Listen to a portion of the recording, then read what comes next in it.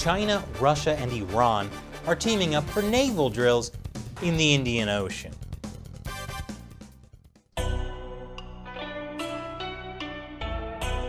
Welcome to China Uncensored. I'm Chris Chappell. This episode is sponsored by Surfshark. You should be using a VPN, like Surfshark, to protect yourself whenever you go online.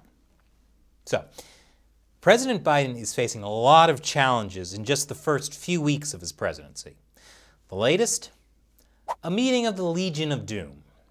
That's right, Russia, China, and Iran are holding joint naval drills in the Indian Ocean. I'm sure India is thrilled. The naval drills will begin mid February. Wait, mid February? I know what this is. It's a new holiday.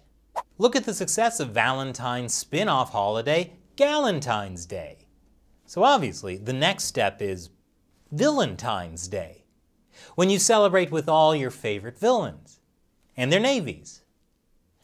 According to Moscow's ambassador to Tehran, the drills would rehearse search and rescue operations and ensuring the safety of shipping. Similar drills were held back in 2019.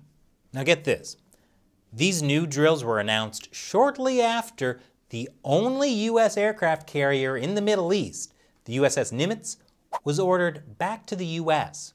Last year, the Trump administration had ordered the Nimitz remain in the area because of heightened tensions with Iran. But according to the New York Times, since President Biden is looking to renew the Iran nuclear deal that Trump withdrew from, he ordered the ship back to its home port in Washington.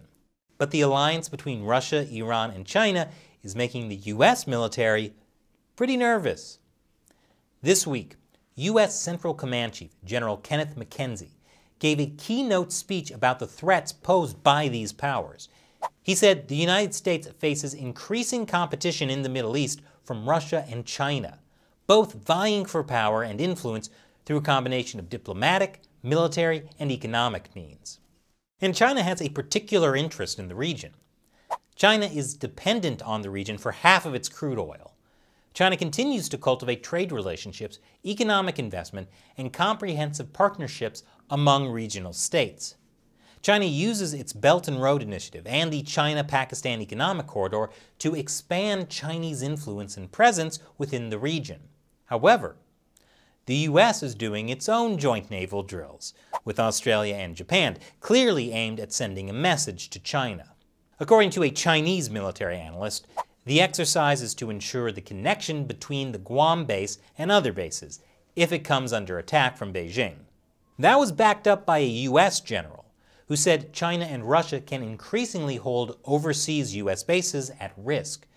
To adapt, the Air Force must evolve from its dependence on well-established airfields or risk building an operational edge. But in addition to these drills, it seems the USS Nimitz made a little detour and is now joining another U.S. aircraft carrier for training drills in the South China Sea. It's the first large-scale freedom of navigation operation aimed at Beijing since the start of the Biden presidency. And that comes just days after the destroyer USS John S. McCain conducted operations in the vicinity of the Paracel Islands, a disputed archipelago in the region claimed by China, Vietnam, and Taiwan. So things are really heating up in the South China Sea. This is going to turn out well. And this episode is sponsored by Surfshark. When you go online, you should be using a VPN like Surfshark to protect your identity. Everything you do online is being tracked and logged by the websites you visit and your internet service provider, and in many cases, by the government.